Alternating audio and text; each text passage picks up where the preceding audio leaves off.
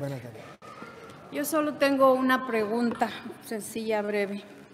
Nos estuvo hablando de Hebreos 10 y me impactó mucho porque tengo familiares de otra religión y me dolió, la verdad me dolió. Dice, el Señor juzgará a su pueblo. Qué cosa más espantosa es caer en las manos del Dios vivo. Y estoy preocupada por ellos. Pero también me preocupa que nosotros como católicos igual, yo soy ministro de la Eucaristía en mi iglesia, del Divino Niño Jesús. Eh, cuando nos llaman a repartir el cuerpo de nuestro Señor, a uno de nosotros nos toca ir arriba o nos toca ir atrás para repartirlo y es bien triste. Y yo pienso, yo comparo ese error de los hermanos separados con el error que estamos cometiendo la mayoría de los católicos en la plena misa de no respetar el cuerpo de Cristo. No sabemos, o, muchos lo ignoramos, que no sabemos que allí en este, en esta altar está Jesús sacrificado.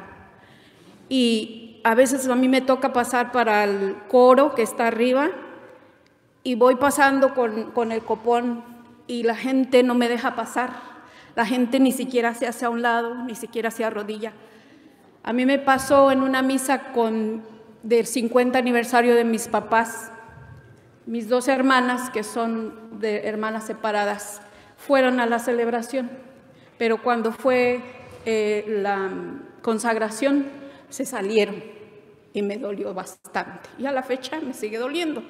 Y yo digo, ¿qué pasa con nosotros que ni siquiera nos hacemos a un lado o nos hincamos cuando va pasando el Santísimo, si vemos y sabemos que es Jesús sacrificado? Eso es todo. Sí, en la primera que le duele a tu familia es la verdad. Y ese debería ser el sentimiento de todo católico. Es el sentimiento de Cristo. ¿Quién de ustedes que tenga 100 ovejas se le pierde una, no deja las 99 y va en busca de la perdida? Como viene a pedirme un consejo, yo te aconsejo, agarre la Sagrada Escritura, vea los videos, prepárate y vete a predicarle a tus hermanas. Le van a poner resistencia, al comienzo a lo mejor no la van a escuchar, pero después le ponen resistencia.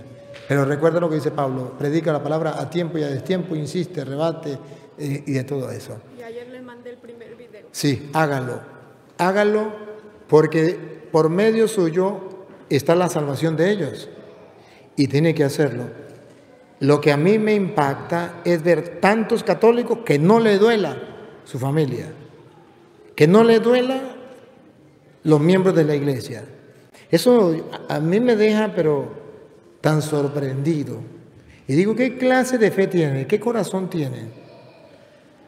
Ve que su familia va por un abismo y les da risa. Ah, déjalos.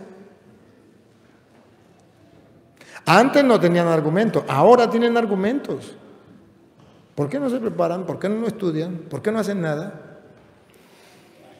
Y la segunda, pues sí, hermana, dentro de la iglesia se le falta mucho el respeto al Señor. Y realmente usted tiene toda razón, no hay gente convencida de que Cristo está en la hostia.